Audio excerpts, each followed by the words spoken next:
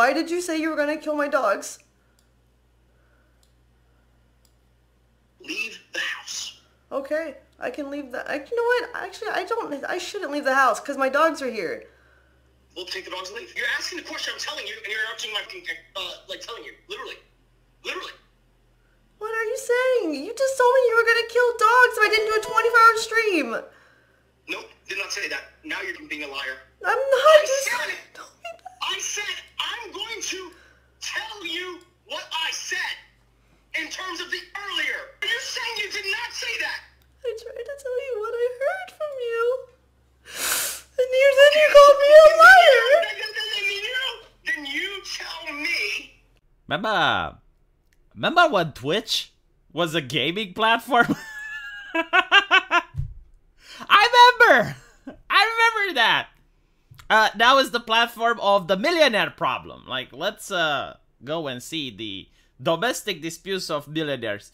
Also, I thought that he threatened her dogs, but in the recording, he claims that that's not what he said. You just told me you were gonna kill dogs if I didn't do a 24-hour stream. Nope, did not say that. Now you're being a liar. Now, what's interesting is that some people were shocked about this. Not, not the- conversation between Amouranth and her husband, but because she has a husband. Like, no, seriously, th- this is what blows my mind. When, when you have a famous actress, someone like Jennifer Lawrence, most men on the planet Earth, despite the fact that they would like her, they would never think that she is single and they would never think that they have a chance with her. Unless they work in the same industry. Unless they're an actor as well. Or unless they personally met her. Very few people would think that yeah you know jennifer lawrence yeah i i, I can definitely have a chance with her.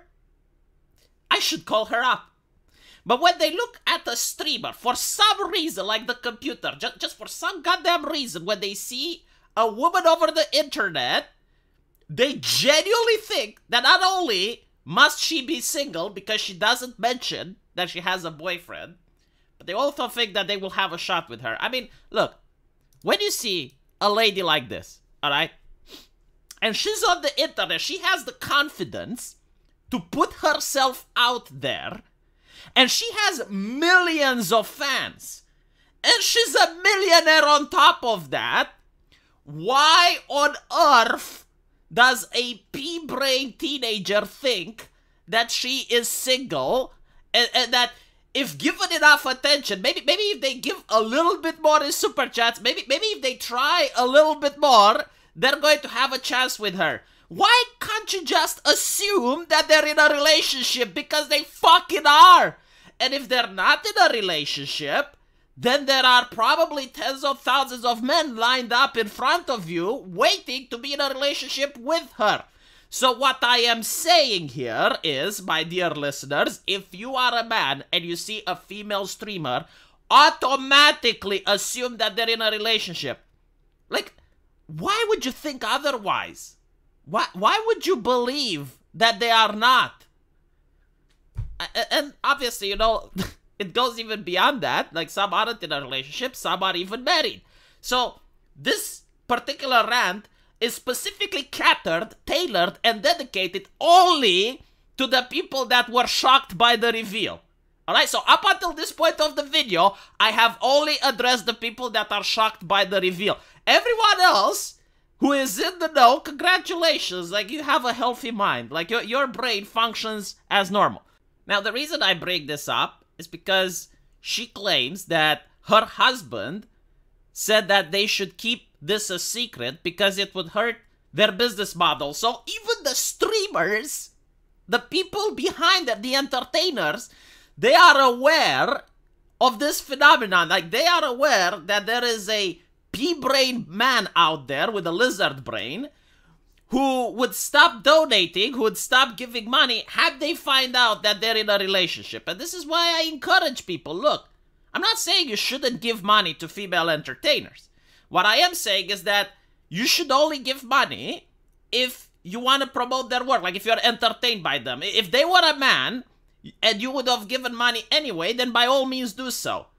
But if you donate super chats just to think that you're going to have a chance with these ladies, think about your life, all right? Like, think about what your mother would say if she found out. Like, look, close your eyes, imagine your mother right now and her face of deep disappointment if she knew that you were giving money to other girls in, on the internet whom you've never spoken with in the hopes that you're going to have a chance with them. Okay? Now, apparently, turns out that uh, her boyfriend was abusing her. According to Amouranth, uh, he was in control of her finances, was threatening her repeatedly, and was also getting very angry with her when she would refuse to do as instructed. Cameraman, we're like, we're in the house now. It's like, the next time when I say plan, do it. Dumb fuck, do you understand? Like, what plan talking about? It's like, fuck this, I'm calling you. So I disappeared from stream. Take a call. So I can't, I'm tell them I can't talk right now. We're getting Wi-Fi. I don't care. You get the call now. Last chance. About to dump your luggage. You know, from the, the, my hotel room. But throwing your stupid merch off the balcony. Proceeding to ditch your stuff. You don't need the makeup or the, or the the live view, like the stream epic, or the clothes, huh? Deleting social media in one minute. Buying options that expire and blasting the cash. About to shut down bank account, your bank account too. Wow, what a temper tantrum. Now, in the stream, she also pledged to break up with her husband and said that her being single is about to be true. It comes after her allegedly demanded that she pretends to be single and commit to hot tub streams. Now, what's interesting is that the stream ended with the voice of a woman asking uh, her if she took her medications. Hello? Hey. Uh, I haven't gotten any calls.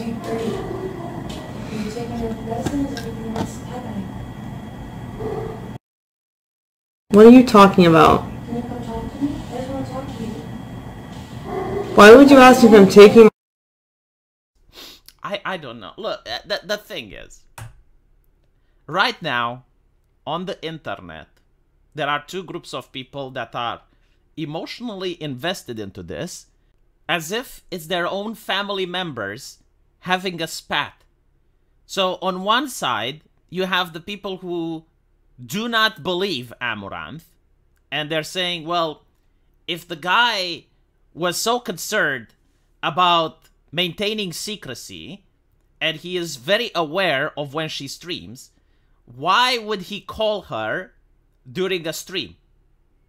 Which is a good question. I mean, there, there is reasons for skepticism there. Like if it's his idea to keep their relationship a secret, why would he call in the middle of a stream? But then there's the other group of people that are 100% Team Amouranth. I mean, they, they 100% believe all this.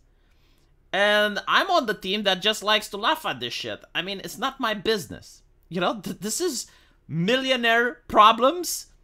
I mean, sure, domestic abuse is definitely not something that I recommend, but I hope that this guy is guilty and, and is a very bad person because there's going to be a tsunami of shit coming his way. I mean, look, and this is an advice for the very few people which are married to very popular women, right? So if you're married with an actress, if you're married with a streamer, if you're married with a famous person, my advice is be very, very nice to them. Be very, very nice. They have millions of fans. Okay? When a pretty lady cries on camera, it activates the lizard male brain and sets it to protect mode. So, all of those fans, all of those people who are willing to give their money to a millionaire are now going to be very upset. And even if this guy didn't do anything illegal, because from what I noticed, it's more like a domestic spat and a very good grounds for a divorce. But I don't think he broke any laws from what I've seen.